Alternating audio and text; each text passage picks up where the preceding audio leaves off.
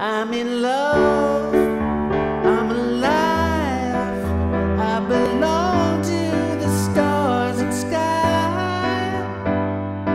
Hey, it's Nate with another piano tutorial. Today I'm doing Real Love Baby by Father John Misty. This is such a great, simple, feel good song. And it's really easy to learn. It's just three chords over and over again for the whole song. So I'll get you up and running with it super quickly, and then I'll give you some optional, more advanced rhythm details. Let's jump in.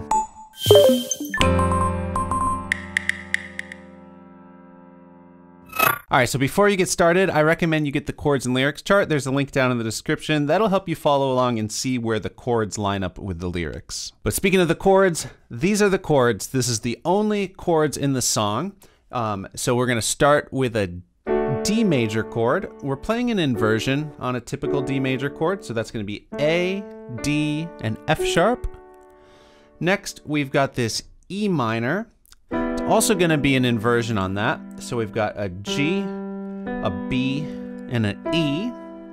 Um, and then finally, we've got a G major chord. That is going to be root position. So notice the E minor and the G share two notes, the G and the B, and then the G chord has that D in it. And you could totally use one, three, five for the fingers on that G chord. I like using one, two, five for the E minor. It fits the hand better, and then it can be pretty smooth to just put your fourth finger down on the D, but you can totally collapse down, whatever feels best and most natural to you. In the left hand, we're just gonna play single bass notes on the notes that the chords are named after.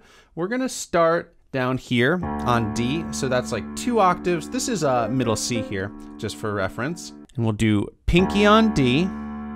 You can step up to your fourth finger when you play the E chord, and then second finger can hit the G chord.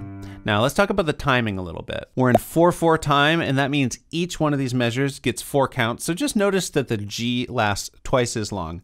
So if I'm just gonna play and count through uh, the chords as we've got them with both hands, it's gonna sound like this. One, two, three, four. One, two, three, four.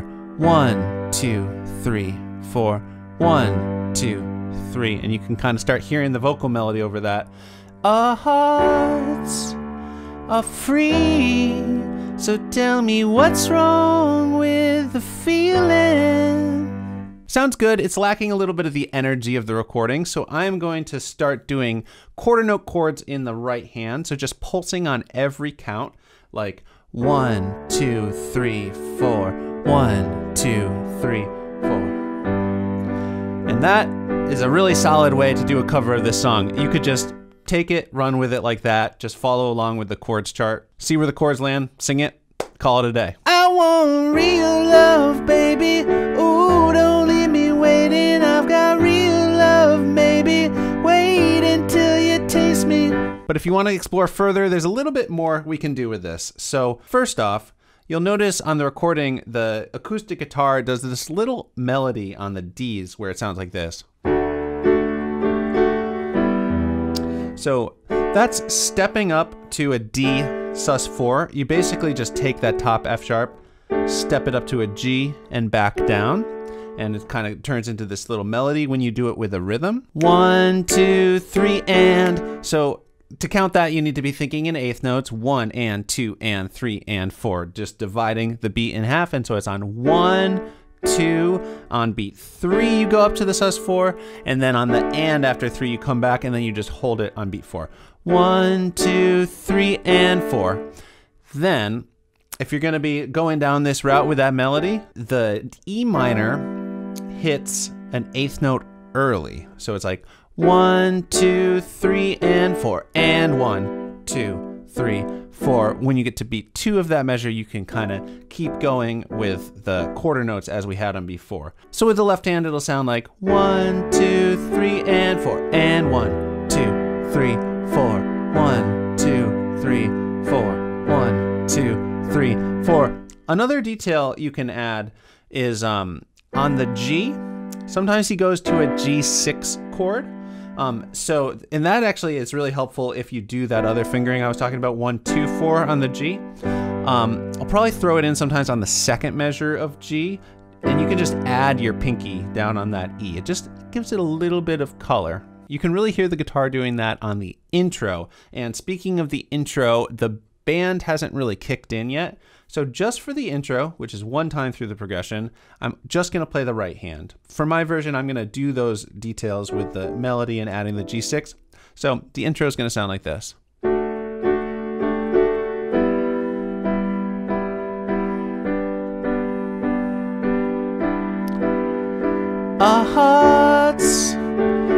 You would get into the verse. Again, you could stop here and that could be your cover of the song.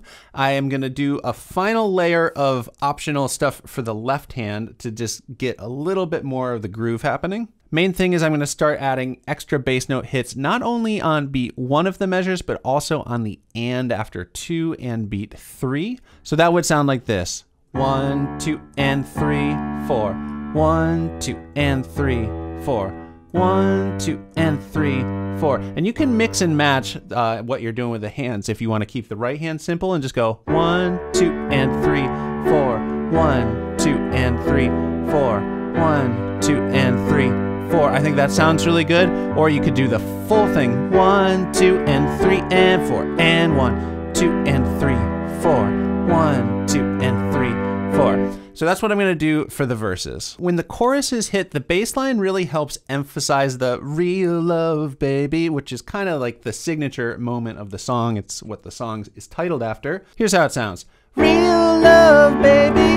Ooh, don't keep me waiting. So I'm going to move the left hand down a little bit. I've had my pinky on the D, but if you go down just for a minute with the second finger on D, that lets your fifth finger access this A to go real love, baby.